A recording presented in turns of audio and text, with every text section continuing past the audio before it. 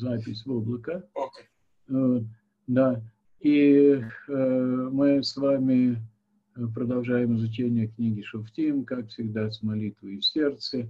Э, э, мы с вами э, в, э, в тех э, листах Талмуда, которые изучали на этой неделе, видели, что наши мудрецы молились перед тем, как они заходили в Бейт-Мидраж, просили Всевышнего, чтобы не было ошибки у них, и чтобы они не ввели в ошибку других. Да, приводится молитва Раби Нехунья бен, э, бен Акане, да, вот, перед тем, как он входит в Бейт-Мидраж, и отсюда мы с вами можем легко выучить, что и нам тоже следует обратиться ко Всевышнему, чтобы нам был успех в этом э, э сложном в этом сложном деле, как э, таком сложном деле, как изучение пророков. Мы с вами подошли в книге э, к 13 э, главе, которая рассказывает, рассказывает нам о Шимшоне. Давайте мы посмотрим несколько иллюстраций, скажем, к нашему уроку, и с этого мы постараемся Э, начать. Мы можем, э, прежде всего, может быть, мы откроем с вами текст, да? Ага, так, вот. Может быть, мы с вами прежде всего откроем текст и посмотрим, как начинается, э, как начинается 13 глава. И опять стали сыновья Израиля делать злое перед очами Всевышнего – и предал их э, Бог в руки филистимлян на 40 лет. Мы представляем себе, что каждый а, раз... Равзеев, текст не открылся, похоже. Не открылся текст? Да, да, будьте добры. Сейчас мы сделаем еще раз. Демонстрация экрана, совместное использование. Вот так видно? Да, видно. Так. Вот. И опять стали сыновья Израиля делать злое перед очами Бога, и предал их Бог в руки филистимлян на 40 лет. Мы понимаем, что делают дурное перед очами Бога. Это разные моменты, в разную эпоху имеется нечто, э, нечто иное. Э, э, понятно, что скажем, деятельность судей против прошлых поколений, она не прошла даром. И после э, дворы, как мы с вами говорили, ситуация в стране в смысле идолопоклонства, она принципиально изменилась. Уже э, поклонение идолам стало, э, э, скажем, меньшим. Оно вернулось в какой-то степени. И было поклонение, э, было поклонение богам даже окружающих народов. Э, это в период Гедеона – но э, с победами Гедеона эта проблема вновь э, э, ушла. Мы с вами можем, мы с вами можем увидеть некоторую здесь динамику. Во-первых, нам нужно представить себе, кто такие Плештим, в руки которых Всевышний отдал сыновей Израиля на 40 лет. Они все время теснят сыновей Израиля – и теснили в то время, когда Ифтах вел войны на востоке, вел войны с Амоном, филистимляне уже э, теснили сыновей Израиля. В книге, в книге Берешит мы видим, что Авраам сталкивается с филистимлянами, а в э, Шофте мы видели, что э, Шамгар воюет э, с филистимлянами. Мы представляем себе, что постоянно идет переселение, э, волна переселения с, э, из островов Эгейского моря на э, побережье Средиземного моря, на те области, которые граничат с сыновьями Израиля. С филистимлянами сталкивается и Иуда, колено Иуды в период в период завоевания Иошуа, мы представляем себе, что э, филистимляне побеждены коленом, коленом Иуды, однако э, удержать, одержать победы, захватить, скажем, города – это одно, а удержать эти территории в своей власти – это другой. И, и Иуда очень быстро утрачивает власть над э, филистимлянами. В результате в то время, о котором мы говорим, о конце эпохи судей, а Шимшон, о котором мы будем говорить, это последний судья, мы с вами представляем, что э, в филистимляне э, не только освобождаются от сыновей Израиля, но уже давно теснят их, э, теснят их с запада, постепенно проникают на их территории и постепенно проникают на их территории и захватывают их – и уже почти хозяйничают в колене Иуды. А в колене Дана происходит вот что. То, что мы с вами будем читать в последующих главах, как бы самые тяжелые и неприятные события, а, пророк Шмуэль, который составлял книгу Шофтим, он вынес в а, конец. Да?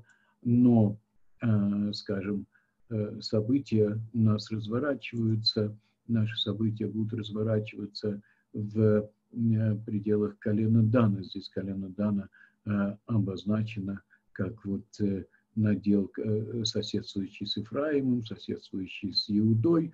А вот эта область, это филистимляне, она должна была бы быть областью, частью колен, колена Иуды. Сила филистимлян, постепенное переселение их с, э, с островов Эгейского моря, э, оно приводит к тому, что колено Дана в, к тому моменту, о котором мы говорим, оно в значительной части оставило э, свой, свой надел и переселилось, перебралось на самый э, север э, к колену Ашера, в те области, которые колено Ашера не захватило. И колено Дана – в значительном э, своем, так сказать, количестве живет в этот момент на э, севере. Филистимляне полностью хозяйничают в эм, его колене, э, его колене и проникают в, проникли в эм, значительную часть колена Иуды, ведут торговлю и устанавливают свои порядки. Нужно представить себе, что филистимляне были очень высокоразвитым народом, да, а, эм, очень высоко, высокоразвитым народом, которые, в общем-то, первыми научились э, изготовлять э, э, железо. Рамсес III, который правит незадолго до этого времени в Египте, он ведет войны с филистимлянами и Э, гордиться с Плештим, как мы говорим, и гордиться своими победами над ними, настолько это сильный народ. Он и в конце концов покоряет, они начинают служить ему. Э, вот, но, скажем, есть, э, есть известные фрески, которые показывают сражение, сражение Филистим, с фараона Рамсеса III с филистимлянами – да, у меня не получается увеличение. Сейчас я посмотрю, что у меня здесь есть еще. Да. А, ну, здесь не очень четко получилось, но можно получить общее представление о сражении на земле Рамсеса III с филистимлянами, филистимлянами, которые и вооружены прекрасно, а, и являются сильными воинами, и а, используют такие боевые повозки с быками, с крепкими колесами. Э, вот, это мы видели с вами как бы фрагмент э, сражения на земле, а есть фрагмент э, сражения на море. Вот. Если он мне даст сейчас увеличение, дает увеличение, но ладно, можно представить общее впечатление, представить себе, что есть здесь корабли египтян и филистимлян, которые встречаются в бою, Э, Рамсес III одерживает победу. Э, филистимляне, э, они воюют и с хетами, и фактически являются основным фактором, который разрушает хетское царство, оставляет его, потом разрушает его хеты. Я напомню, они находятся на севере, как бы Израиль, земля Канаан, она между Египтом и хетским царству. Да? Вот. И вот этот сильный, сильный враг, да, который мог бы, который мог бы захватить и все колено Иуды и полностью поставить его на колени, на колени, то, что он постепенно начинает делать, он все-таки не совершил этого, потому что мы знаем, что Шамгар один в одиночку победил 600, э, 600 э, филистимлян. То есть Всевышний делает для сыновей Израиля чудеса, которые открыты глазам народов мира, они очень хорошо видят эти чудеса, и они несколько, по крайней мере, несколько опасаются оказать такое прямое непосредственное, э, э, совершить прямое непосредственное вторжение в э, землю Канаан или в землю Израиля. Теперь, но при этом они захватывают, захватывают часть земель, продвигаются постепенно, как бы разъезжают спокойно по дорогам. У филистимлян э, очень э, и развитая экономика, э, потому что через них проходит дорога, которая называется дорога филистимлян вдоль берега моря, торговая дорога. Они ведут и торговлю на кораблях, то есть сыновья Израиля имеют противника – развитого во всех э, отношениях э, и вооружения, и экономически э, на своем, на своем побережье, и колено Дана не выдерживает давления, уходит на, на, на север. Мы с вами будем вот, события, которые связаны с Шимшоном, происходят, как мы с вами сейчас увидим в следующих предложениях, между Э, между городами Иштеоль и Цара. Они начинаются там, между Иштеоль и Цара. Да? Вот в остатки колена, остатки колена Дана, те, кто не ушел, те, кто остались, да? вот, и здесь соседи, что ли, э, э, Цара это прежде всего Тимна, да? und темната, Тимна, и Икрон, Гат, Аждот, Ашкелон, Аза – это филистимские, филистимские города, от которых страдает население колена, колена Дана. Ну, вот еще можем посмотреть с вами еще одну карту, которая, может быть, нам поможет представить. Я думаю, что она нам уже все-таки Э, скажем, то, что мы видели, нам достаточно. Да?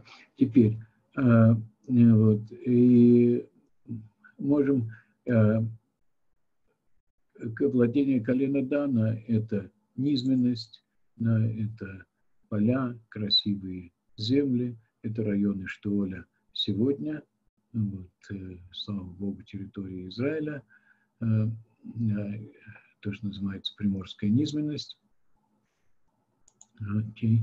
Вот. Э, ну,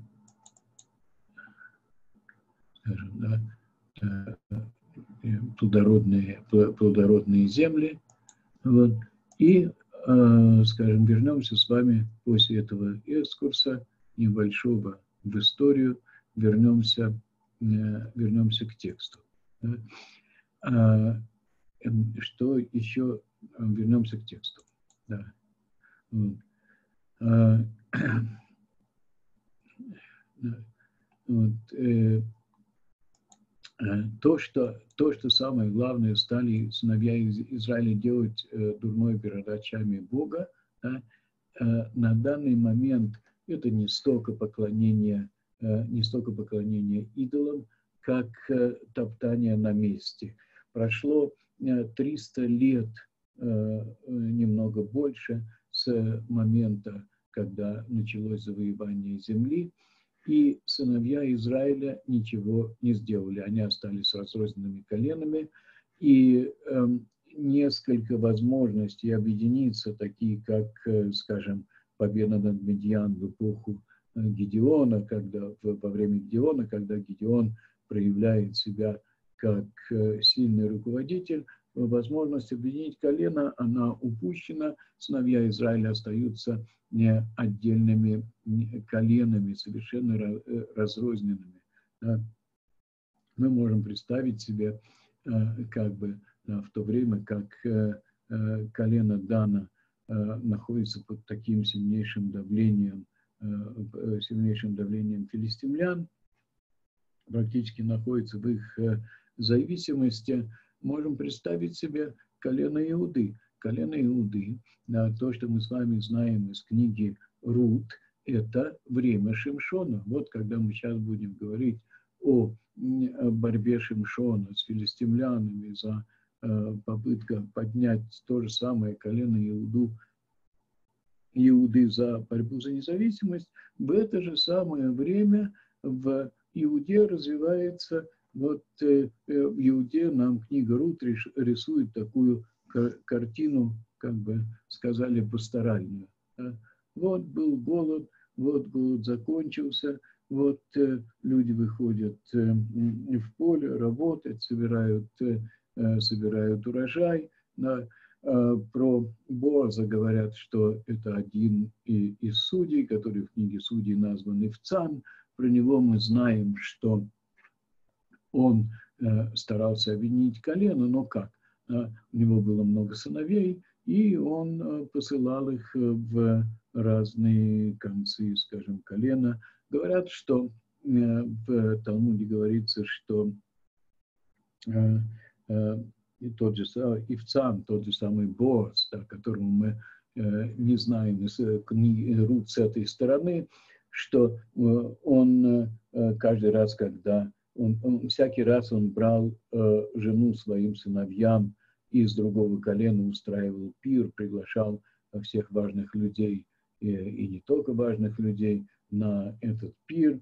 Таким образом он хотел объединить все, э, все колена. Мы видим это несколько раз в книге Судей, и, но это, как бы можно сказать, забегая вперед, не, не работает, совершенно не работает. Работает только борьба за независимость, обращение ко всем коленам, чтобы каждый из них принял участие в борьбе за, э, за свою территорию. Это то, что работает. Да?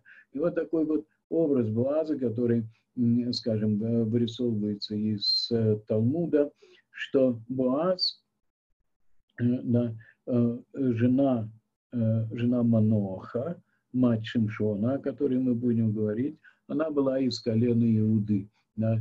И, но Буаз никогда, или Ивцан никогда не приглашал Маноха на те многочисленные пиры, которые он устраивал для своих сыновей. Эм, якобы потому, чтобы, потому что он думал, что Маноху будет неудобно, он человек небогатый. Да? Вот, э, возможно, если, э, если Талмуд говорит так, э, что Буаз не приглашал Маноха, он явно был в курсе его, его состояния, скажем, да, его экономического, так сказать, состояния. Да. Э, скорее всего, жена Маноха была не просто, э, не просто из Иуды, да, а была либо дочерью, либо ближайшей родственницей Э, самого э, Буаза. Но он не приглашал Маноха. Да. За этим мы как бы чувствуем, да, что всегда можно э, назвать причину внешнюю, можно понять внутреннюю причину. Да. Колено, колено, колено Иуды, да, оно, в общем-то, отделилось от колена Дана, махнуло на него, махнуло на него рукой и Э, как бы не поддерживал с ним, э, не поддерживал с ним никаких э, связей. Уже во время, уже во время, как мы представляем себе, уже во время Буаза, Ивцана, а, а, Шимшон, он уже известен своими, уже известен своими подвигами. Да, и другая причина, которая то, что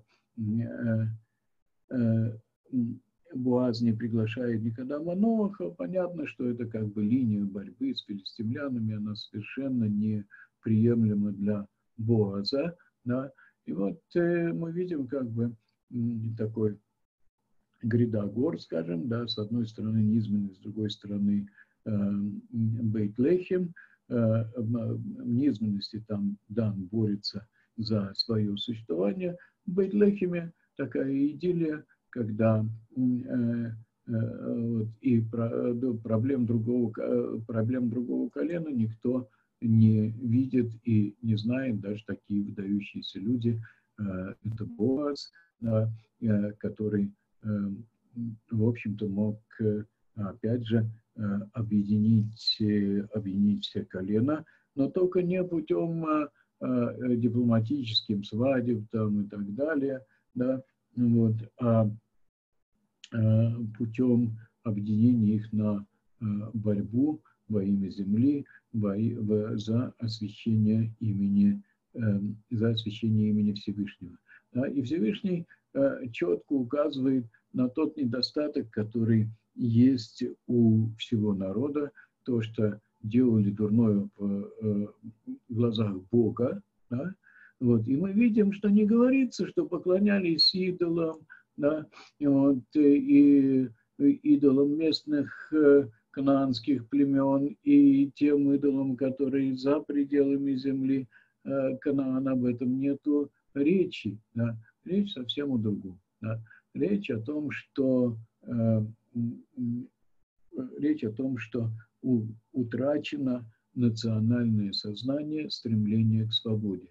Если мы это видели у, если это проявилось у Гедеона, да, и мы видим, что еще оставались, может быть, немногочисленные люди, которых был протест такой естественный, живой протест в душе против чужой Э, против чужой власти, прежде всего, даже не против, может быть, идолопоклонства, а против чужой власти, потому что народ должен быть свободен. Теперь мы этого не видим. Да?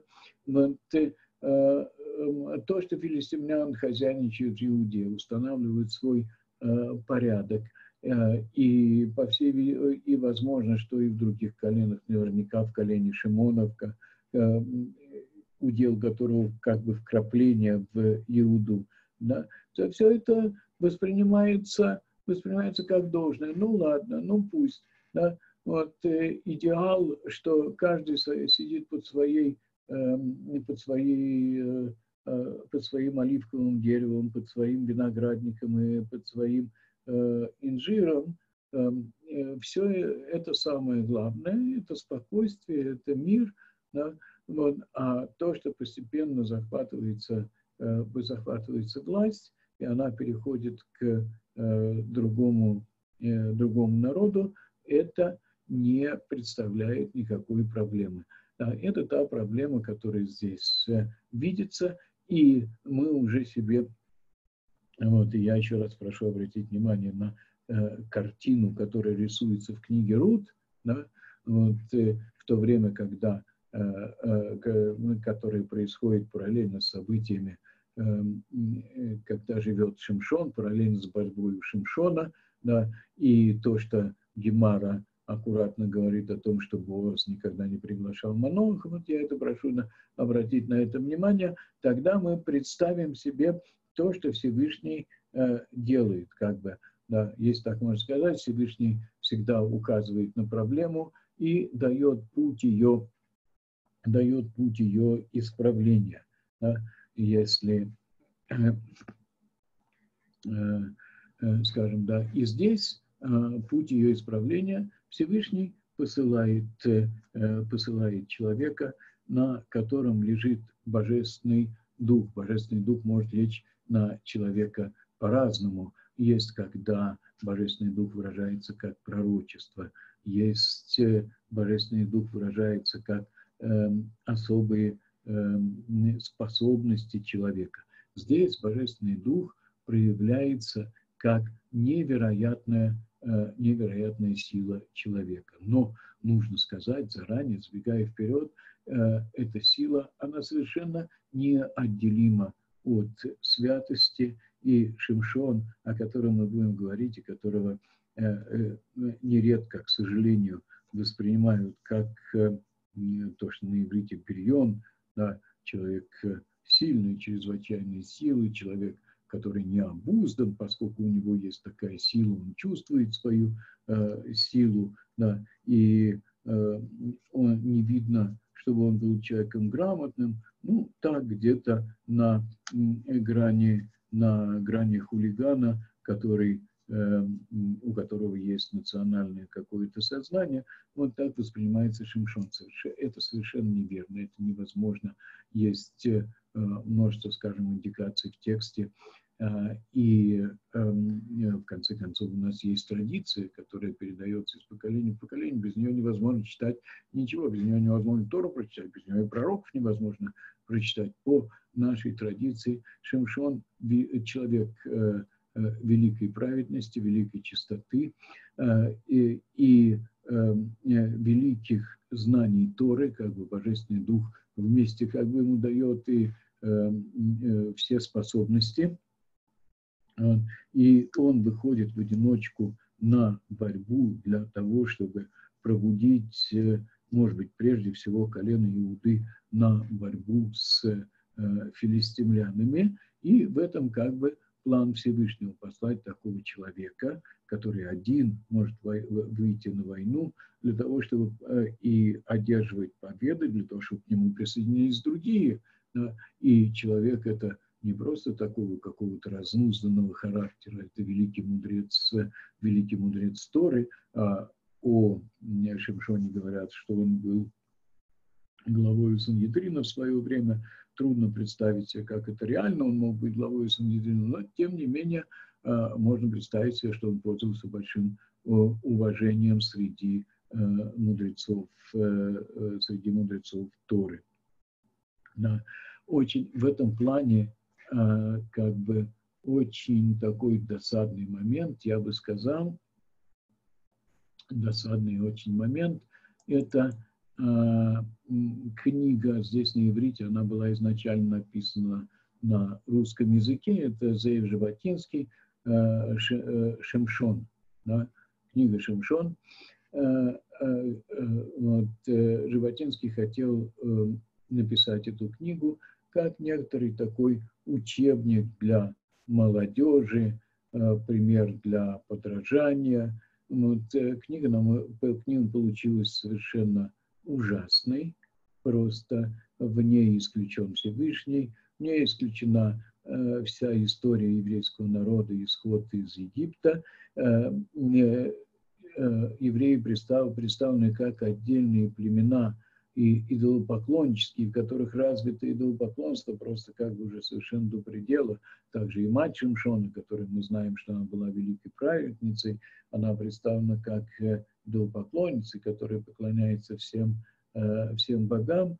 Но вот есть вот такое вот э, стремление к свободе у этих э, идолопоклонников, непонятно откуда взявшихся, вроде бы как бы сформировавшихся в той, в той же земле, в той же земле Канаан. Шимшон вот представляется он таким да, Э, э, таким человеком, который э, готов бороться за независимость. Естественно, ничего общего с идеей Всевышнего там он не, не имеет. В результате получился, получилось просто, просто ужасное произведение. Я думаю, что надо смотреть правде в глаза. Некоторые говорят, что Батинский великий человек и так далее. Я совершенно не отрицаю. Да, великий человек, да, но мне кажется, что нужно видеть правду и нужно видеть ту, э, скажем, э,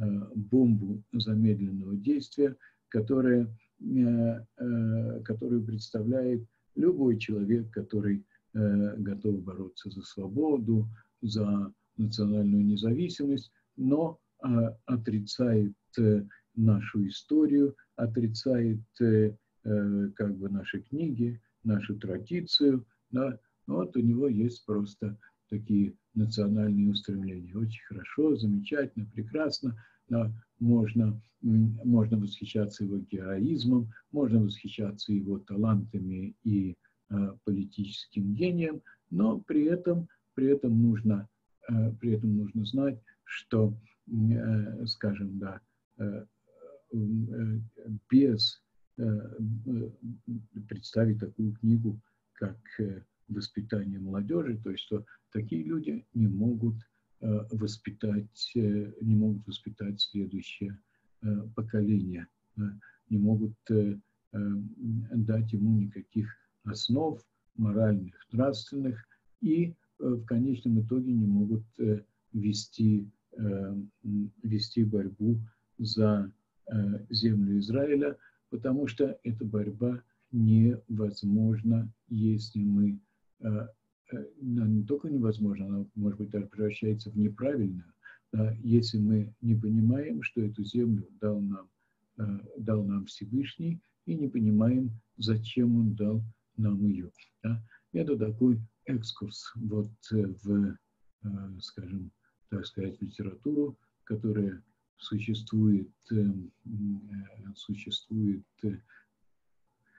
скажем, а, о, в основе которой лежит этот героический образ, который есть в книге Шуфтим, да, вот, и это, мне кажется, очень-очень важно принимать э, во внимание. Да. Теперь возвращаясь к тексту, да, опять же, обратили внимание, что ни о каком поклонении божествам речи не идет. И мы действительно не видим ни у Маноха, у которого жена очень мудрая женщина в плане Торы из Иуды, ни где-то вокруг мы не видим никакого влияния э, и идолопоклонства. Мы не видим, чтобы в колене Дана поклонялись идолам Плештим, чтобы это э, была, э, была проблема. Да? И когда мы себя спрашиваем, да, в чем проблема, то мы как бы от, э, из дальнейшего повествования, из, так сказать, э, попытки Всевышнего решить проблему, мы понимаем, в чем была проблема. Да? Это про полное отсутствие как бы национального сознания, понимания то, что перед народом стоит определенные задачи, что э, попав под чужую попав под чужую власть, он не сможет выполнить эти задачи. Единственное, что интересует, это частный такой уровень, на котором всегда главная ценность – это покой, пребывание в покое, спокойствие. И вот дальше мы с вами читаем. И был один человек из Цоры, из семейства Данова, из семейства Дана, по имени Мановах. Да? Моментально мы с вами а, а, можем сказать Мановах. Да?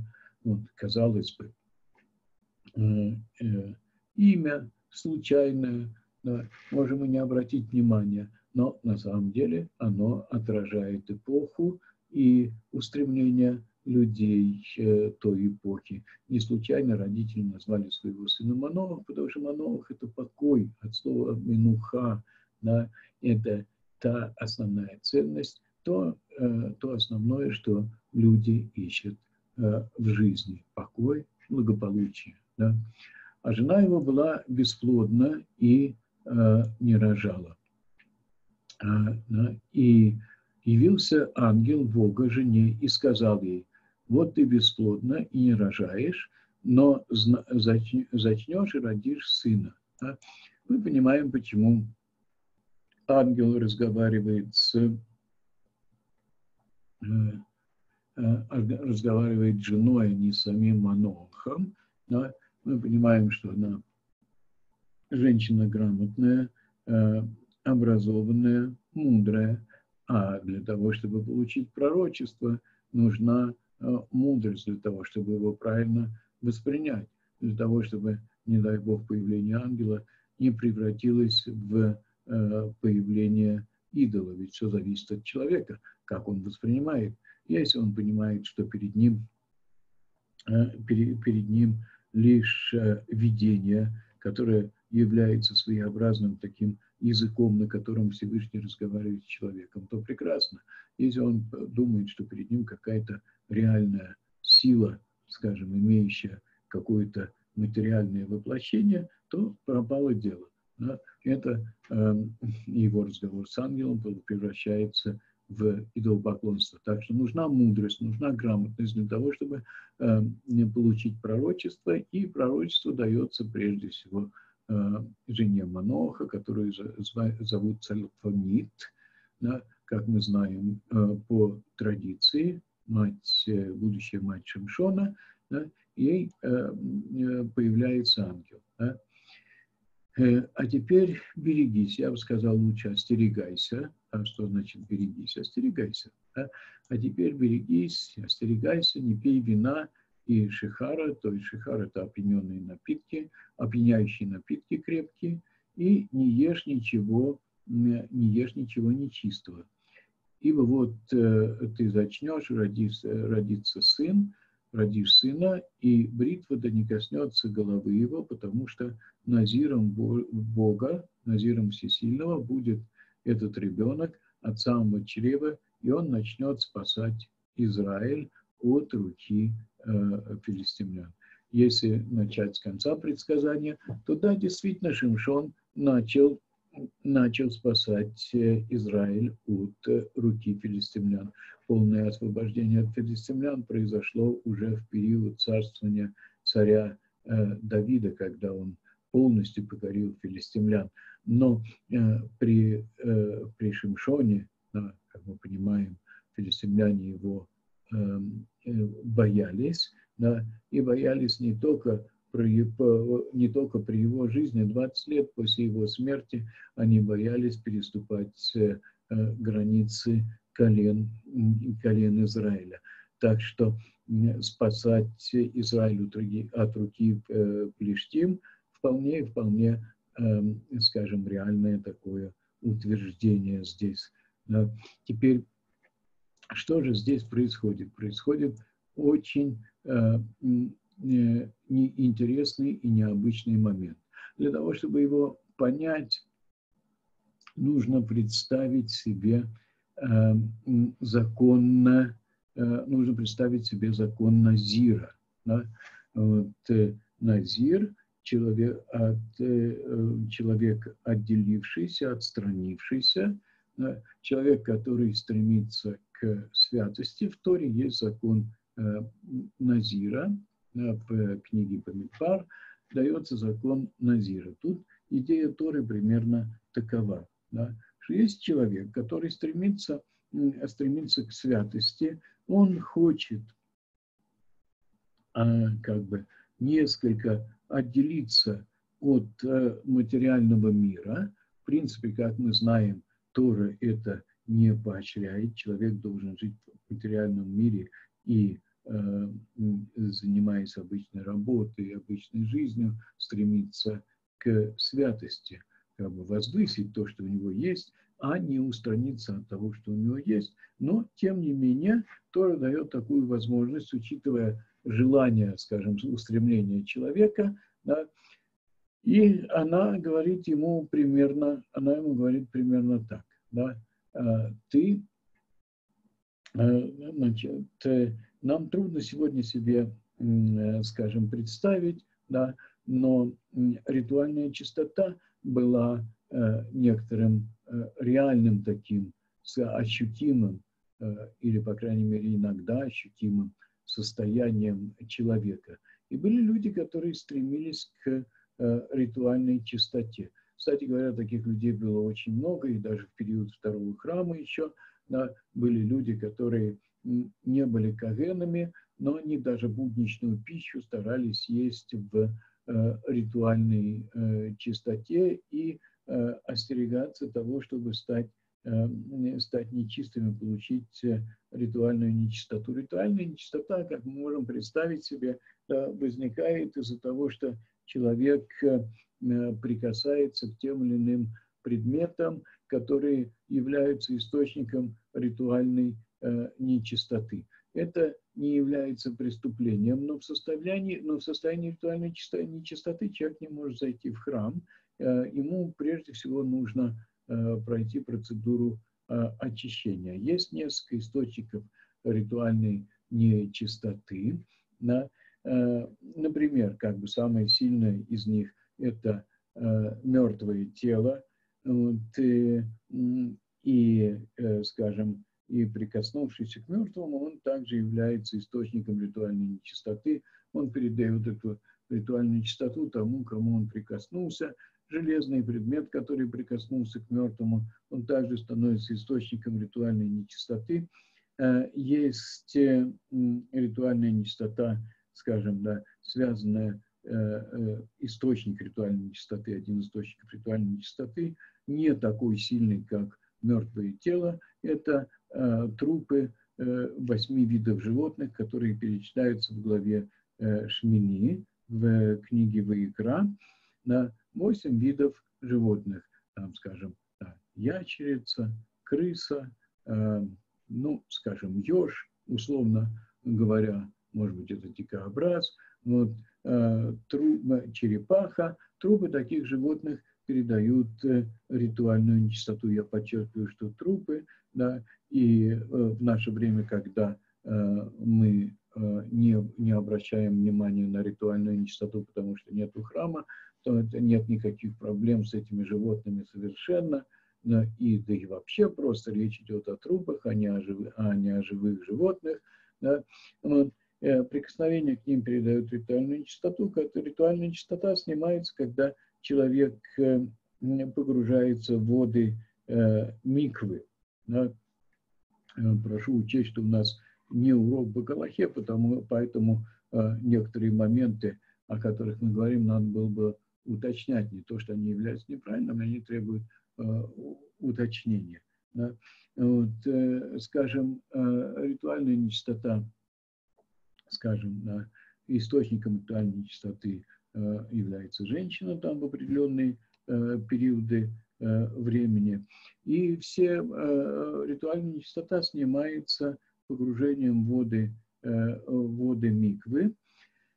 И погружение воды миквы, скажем, миквой называется любой, скажем, водоем, который не, не представляет собой сосуд, то есть не является ванной какой-то, которую поставили, а водоем, который, как, скажем, яма, которая высечена там в скале, скажем, да, э, и туда набралась, набралась дождевая вода, вот окунаясь в нее, человек снимает ритуальную нечистоту. И также и источник – Эм, который бьет из земли, он также является водой, которая может снять ритуальную, ритуальную нечистоту.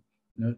Вот, э, э, скажем, здесь, и когда человек хочет принять, э, когда человек хочет устраниться, скажем, и приблизиться к святости, да, хочет быть как бы святее, чем Каген, который служит в храме, да, то ему дается такая возможность Торы, говорят, ты можешь быть то, что называется назир, человек, устра, э, человек устраненный. Несколько назир – это устранить. Да? Так вот, человек несколько устраненный, э, ты можешь быть. В чем твоя как бы, устраненность с точки зрения закона Торы, в чем твоя возможность, чтобы устраниться от материи и приблизиться к святости, ты э, должен избегать ритуальной нечистоты, которая распространяет мертвое тело.